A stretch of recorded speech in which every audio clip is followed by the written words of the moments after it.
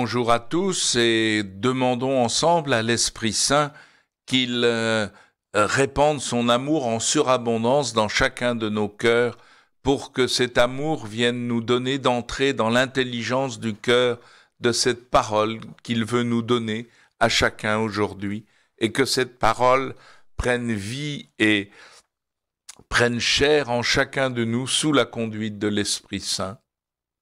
Je vous lis la première lecture euh, en ce mardi 3 novembre où nous fêtons Saint Martin de Porres, un des premiers saints du nouveau continent. Euh, voilà. Euh, frères, ayez en vous les dispositions qui sont dans le Christ Jésus. Le Christ Jésus, ayant la condition de Dieu, ne retint pas jalousement le rang qu'il égalait à Dieu, mais il s'est anéanti, prenant la condition de serviteur, devenant semblable aux hommes, Reconnu homme à son aspect, il s'est abaissé, devenant obéissant jusqu'à la mort et la mort de la croix. C'est pourquoi Dieu l'a exalté. Il a donné du ton, du nom qui est au-dessus de tout nom, afin qu'au nom de Jésus, tout genou fléchisse au ciel, sur terre et aux enfers, et que toute langue proclame Jésus-Christ est Seigneur, à la gloire de Dieu le Père. Nous connaissons bien cet hymne aux, Philippiens et la première phrase est bouleversante. Ayez en vous les dispositions qui sont dans le Christ Jésus. Et ces dispositions, eh bien, nous ne pouvons les trouver qu'à travers le Nouveau Testament, les évangiles, les lettres de Paul, les actes des apôtres, pour euh, découvrir ces dispositions profondes qui étaient dans le Verbe incarné. Et Paul va, va décliner un peu ses dispositions. Il était Dieu, il avait la condition de Dieu, mais il n'a pas retenu jalousement le rang qu'il égalait au Père. Rappelez-vous, Dieu, c'est vraiment le Père. Mais il s'est anéanti, prenant la condition de serviteur, devenant semblable aux hommes. Lui, Dieu, lorsque Jésus appelle ses disciples, c'est vraiment la personne divine du Fils, bien-aimé du Père, qui appelle ces hommes.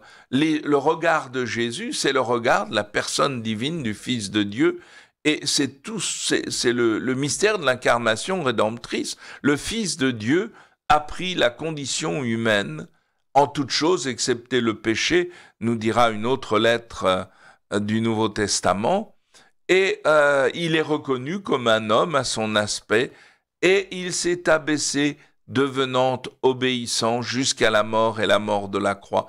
L'obéissance du Fils, euh, il en est question dans la lettre aux Hébreux, tu n'as voulu ni sacrifice ni holocauste, alors j'ai dit, voici, je viens au Père pour faire ta volonté.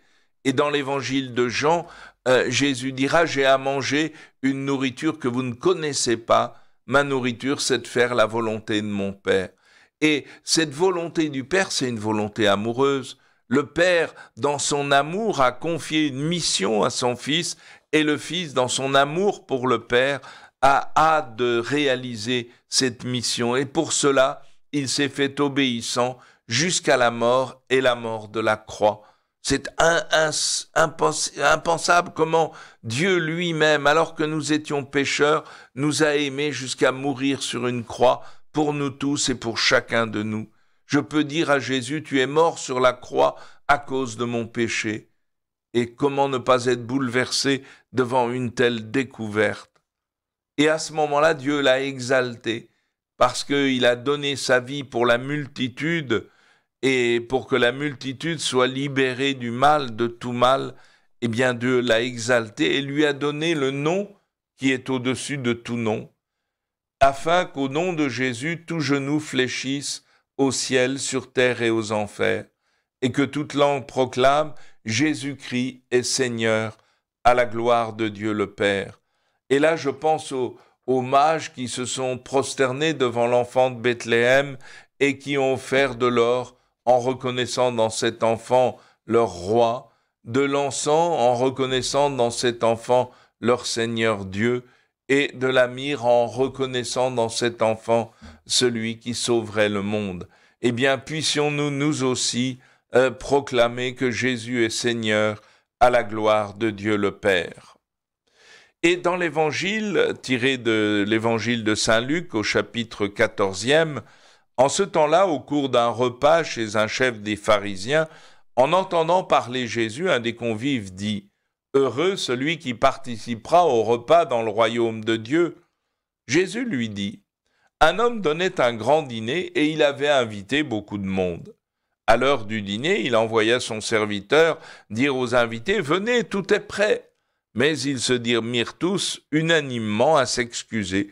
Le premier lui dit J'ai acheté un champ et je suis obligé d'aller le voir. Je t'en prie, excuse-moi. Un autre dit J'ai acheté cinq paires de bœufs et je pars les essayer. Je t'en prie, excuse-moi. Un troisième dit Je viens de me marier, c'est pourquoi je ne peux pas venir. De retour, le serviteur rapporta ces paroles à son maître. Alors, pris de colère, le maître de maison dit à son serviteur Dépêche-toi d'aller sur les places, dans les rues de la ville. Les pauvres, les estropiés, les aveugles et les boiteux, amène-les ici. Le serviteur revint lui dire Maître, ce que tu as ordonné est exécuté, et il reste encore de la place. Le maître dit alors au serviteur Va sur les routes et dans les sentiers, et fais entrer les gens de force, afin que ma maison soit remplie. Car je vous le dis, aucun de ces hommes qui avaient été invités ne goûtera à mon dîner. Là, c'est vraiment euh, l'homme qui donnait un grand dîner, qui avait invité beaucoup de monde. Et je pensais en écoutant cet évangile à un curé du Vaucluse qui euh, voulait redonner vie, euh, réveiller sa paroisse et il avait organisé un grand week-end missionnaire. Il avait invité tous les bons chrétiens de sa paroisse, de ses 16 clochers, et juste à partir du jeudi, tout le monde a commencé à trouver des bonnes raisons pour dire bah non, je pourrais pas venir, je m'excuse. Ah non, on part en voyage, on sera pas là, excusez-nous, on aurait aimé être là, euh, comme des pharisiens d'ailleurs. Et euh, finalement, euh, je, je, reçois un coup de fil de ce prêtre qui me dit mais qu'est-ce que je peux faire? Tout le monde se désiste. Et moi, je lui ai rappelé euh, ce texte de l'Évangile. J'ai dit, tu vas sur les routes, sur les chemins, et tous ceux que tu rencontres, tu les trouves. Tous les boiteux, tous les estropiés, tous, ceux qui sont tordus, tu les fais venir, et c'est avec eux que l'Esprit Saint va construire ta paroisse. Et ça a été extraordinaire. Il y a eu un, un week-end où l'Esprit Saint a soufflé de partout, et tous les plus pauvres ont été comme renouvelés dans l'Esprit, et ça a redonné vie à la paroisse. Et ça a été pendant des années une paroisse avec 16 clochers qui a été une des paroisses euh, très vivantes et rayonnantes de notre Église diocésaine. Alors n'ayons pas peur de, euh, de nous dire que nous sommes tous invités aux noces, mais est-ce que nous sommes prêts à entrer dans, dans le festin euh, comme le Seigneur nous le dit? Et euh, tout notre chemin de vie ici-bas, c'est d'entrer dans ce, ce, festin et de pouvoir partager. Euh, mais pour ça, il faut s'y préparer, il faut y venir. Est-ce que nous allons venir Parce que finalement, ce festin, on apprendra ailleurs que c'est le festin des noces de l'agneau. Car le Seigneur, il est venu et il a donné sa vie pour nous rassembler tous en lui et célébrer ses noces avec l'humanité et éternellement nous serons vivants dans le Fils bien-aimé, ou alors nous serons éternellement morts dans l'enfer. Et ça, c'est quelque chose de terrible. Alors, il faut vraiment que nous ayons l'audace de rappeler à nos frères et sœurs l'importance de, d'entrer dans ce festin nuptial et de s'y préparer. Je vous souhaite à tous une bonne rumination de la parole à l'écoute et avec l'Esprit Saint. Bonne journée à tous.